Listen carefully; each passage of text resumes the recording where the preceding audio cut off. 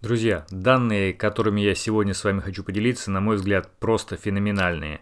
Посмотрите на эти два графика. Голубой график – это график цены, желтый график – это некая метрика, о которой мы поговорим позднее. Как вы видите, пики этой метрики у уровня равного единице практически идеально совпадают с локальными максимумами и минимумами цены биткоина. Чуть позднее расскажу о том, на чем основаны эти данные, но они имеют фундаментальную основу и абсолютно логичны с точки зрения функционирования рынка. Так вот, уже долгое время мы с вами обсуждали данные, которые можно получить с помощью анализа блокчейн биткоина, а именно транзакций в зависимости от цены, от времени, от их объема и так далее. Скажем, мы говорили о таких вещах, как MVRV, который указывает на глобальные минимумы, реализованная капитализация, дельта-капитализация, средняя капитализация, все они в какой-то мере предсказывают ценообразование и отражают то, как цена себя ведет в глобальном масштабе. Конечно, мы говорили и о сигнале NVT, и о так называемой скорости биткоина. И надо сказать, что все эти данные единогласно утверждают, что дно у нас было в декабре 2018 года. И уже неоднократно я упоминал господина Рената Широкаши, который в Твиттере публикует свои обновления ончейн-анализа данных блокчейн биткоина. В частности, вот скажем, в середине января он публиковал вот подобный график, который еще был не достроен до конца. Тем не менее, это инвертированный NVT-сигнал, где он показывал сходность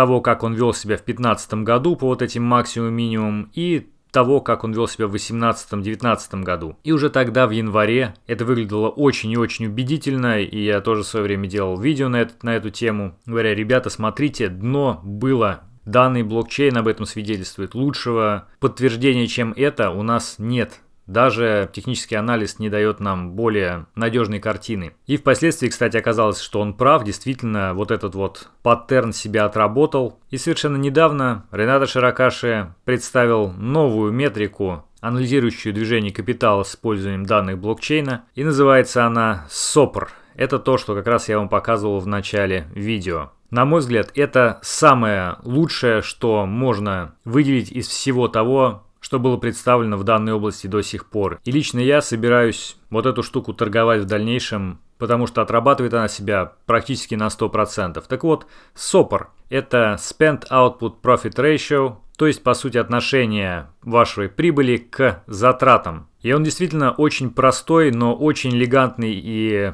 до простоты гениальный индикатор. Рассчитывается он с использованием UTXO, то есть выходов транзакций. А именно, если, скажем, вы имеете какой-нибудь объем биткоина, который был сгенерирован или перемещен с одного адреса на другой, у этого объема биткоинов есть, конечно, какая-то цена в долларах. Потом он находится какое-то время на этом самом адресе и потом переводится на другой адрес. То есть таким образом изначальная цена это цена образования биткоина, а вторая цена это цена его реализации.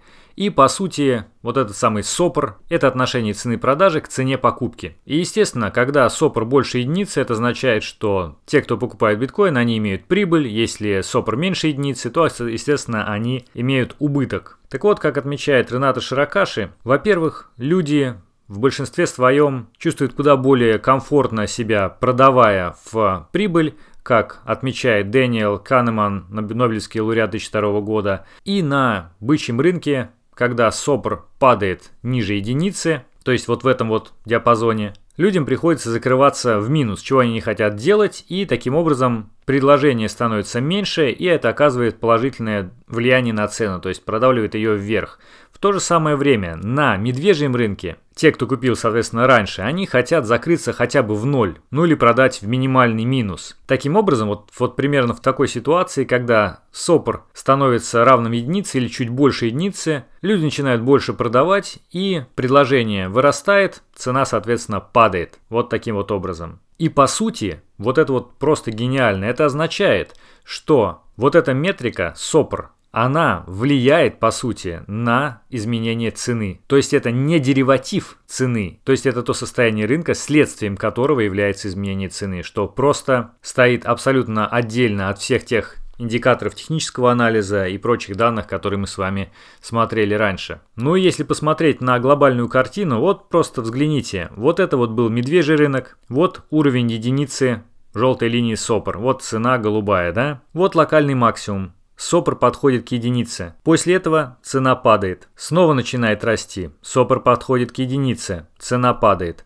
Снова начинает расти. СОПР подходит к единице цена падает. Затем период накопления сменяется периодом роста, и, соответственно, те, кто накупил, успел купить здесь и начинает покупать по мере этого роста, получают прибыль. Это бычий рынок. И таким образом СОПР меняет свою фазу на состояние выше единицы, и здесь уже минимум цены соответствует уровню СОПР равному единице.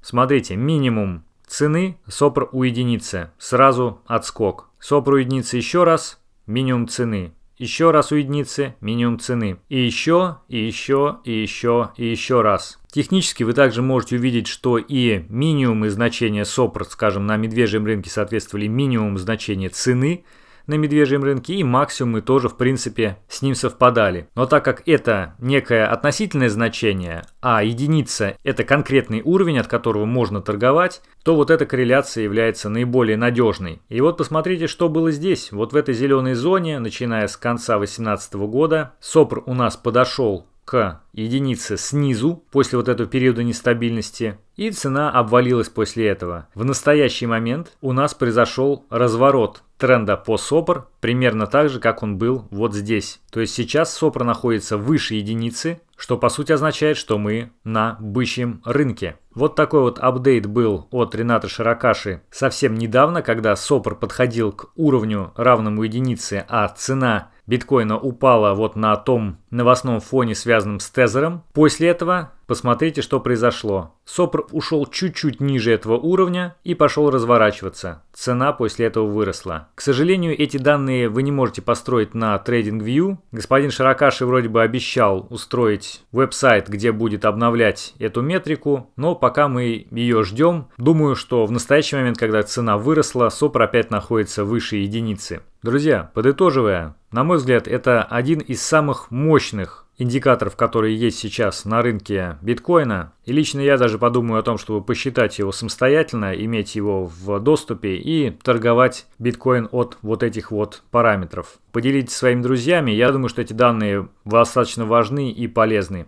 Ну а у меня на сегодня все. Спасибо, что смотрели. Пока.